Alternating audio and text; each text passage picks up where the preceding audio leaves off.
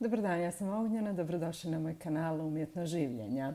E, danas ćemo razgovarati o tome što to u našem karakteru nas čini žrtvama narcisa i svih drugih predatora. Znači, ne nužno narcisa. Naime, e, što sam ja primijetila? Mislim da sam već i radila e, video na tu temu da nije vaš problem narcis, nego je problem u vama. Ono što sam dalje ja primijetila kroz rad jest da ne samo da postoje ljudi koji uistinu imaju problema sa narcisima i vi kad s njima razgovarate vi imate dojam da oni stalno nekako nailaze na narcise, stalno nekako ti narcisi njih nalaze u životu. Taman se riješe jednog, onda im se pojavi drugi i tako. I eh, također isto, na isti način postoje ljudi koji nikada, ali nikada nemaju problema. Znači ne samo sa narcisima nego i sa E, predatorima bilo koje vrste. Nameće se zaključak da e, postoji razlog zašto e, predatori odaberu nas i postoji nešto u našem karakteru što nas čini lakim plijenom za predatore. O čemu se tu zapravo radi? svaki predator je toksičan i znači e, predator nema on u sebi ono, ono, onaj neki zdravi nagon za natjecanjem koji, da želi pokazati e, što je sve sposoban i što je moćan. Ne. Predator zapravo, znate ono kako se kaže, predator čak i u životinskom svijetu, predator nanjuši krv i onda napada. Znači, e, i ljudski predatori će odabrati najlakši plijen. I onda moje pitanje je što je to u vama, u krajnjoj liniji u meni, što nas čini lakim plijenom? I e, analizom sam došla do određenih crta ličnosti, znači karakternih crta koji vas čine lakim plijenom. Koje su to crte? E, prvo, strah od emocija.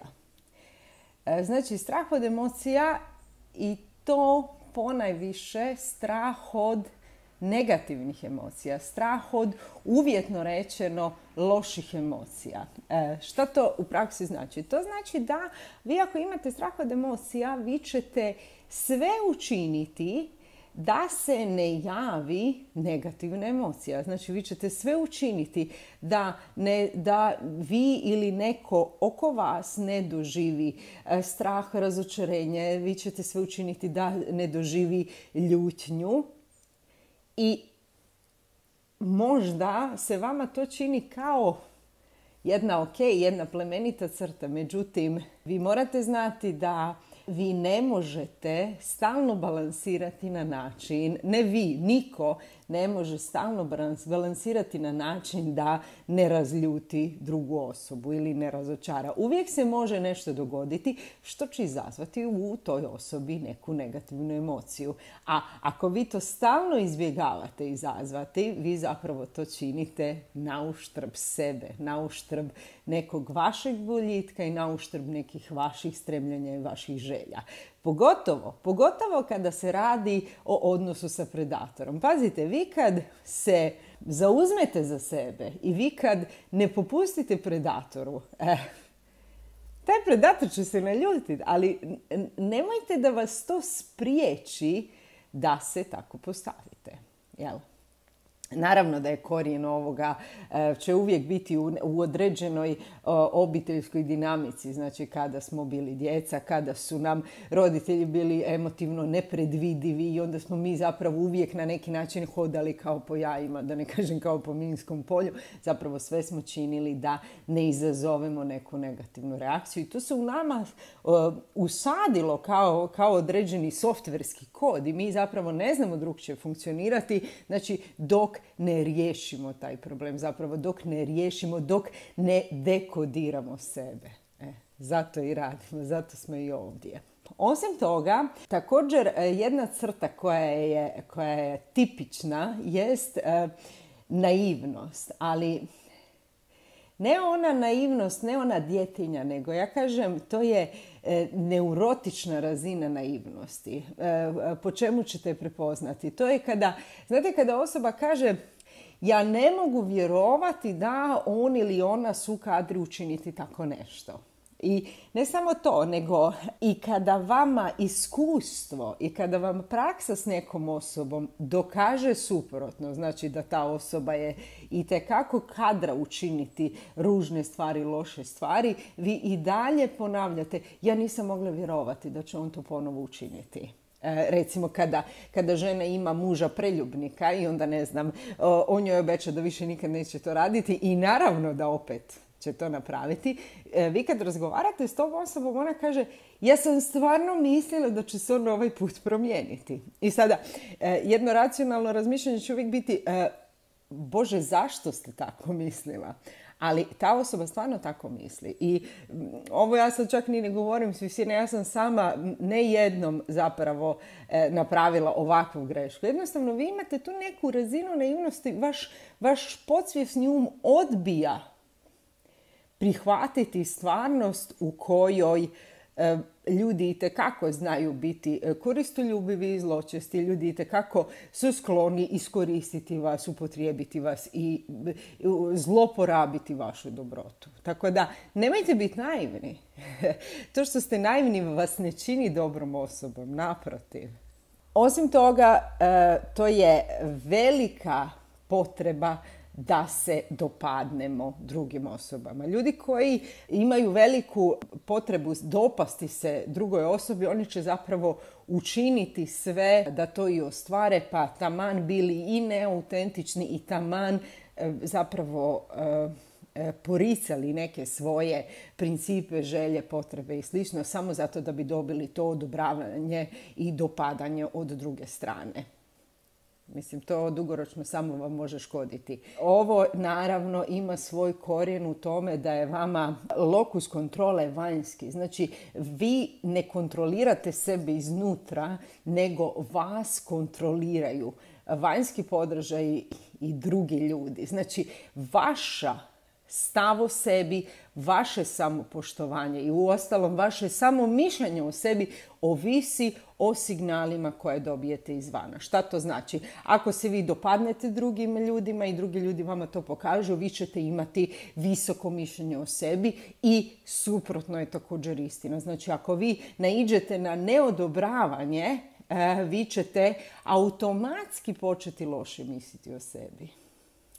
Eh, stvarnost je nešto sasvim drugo. Stvarnost je takva da isti postupci, iste osobe će se nekima jako dopadati i nekima će biti iznimno odbojni. Znači, eh, mi ne možemo kontrolirati tuđu reakciju, niti to trebamo činiti. Uvijek će biti neko kome ćemo se dopadati, a neko kome se nećemo dopadati. Poanta je zapravo ono što je bitno i ono što je naša misija je da se dopadnemo sebi i da živimo svoj autentični život. Također jedna od crta koja nas čini jako lakim žrtvama je kada nismo sposobni reći ne. Znači kada vi ne znate se zauzeti za sebe i jednostavno određene stvari ne prihvatiti. Jer o čemu se radi? Ljudi meni često kažu pa meni je neugodno reći ne, meni je neugodno odbiti. Zašto? Jednako je ugodno i neugodno reći i ne i da. I jednostavno ako se određene e, situacije, određena ponašanja kose sa vašim osnovnim principima i stavovima, e, vi imate puno pravo reći ne. Kome pravo, pravo, kome krivo, krivo. To je naravno isto tako povezano sa onim kada ste, znate ono kad ste presavjesni pa previše uzimate u obzir tuđe osjećaje, da li ćete druge povrijediti, kako će se drugi osjećati i to isto onako graniči s neurozom kada vi više brinete o drugima nego što brinete o sebi. To prestaje biti savjesnost, to, to prelazi u samosabotažu. Neka vam drugi ne budu bitniji od vas.